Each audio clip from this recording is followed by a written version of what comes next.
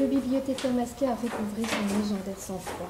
Il va maintenant reprendre sa conférence sur le crayonnage de livres. Il, il faut pas crayonner. Il faut pas crayonner les livres.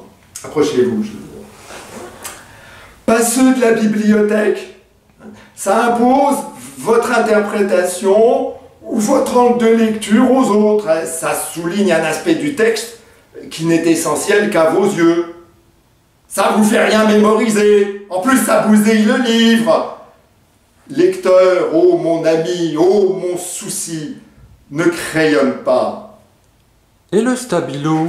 Le, quoi, le stabilo, le, stylo? Euh, oh, Aucune peine n'est assez lourde, aucun supplice assez, assez raffiné, aucun opprobre assez public, aucun, aucun, aucun, aucun, aucun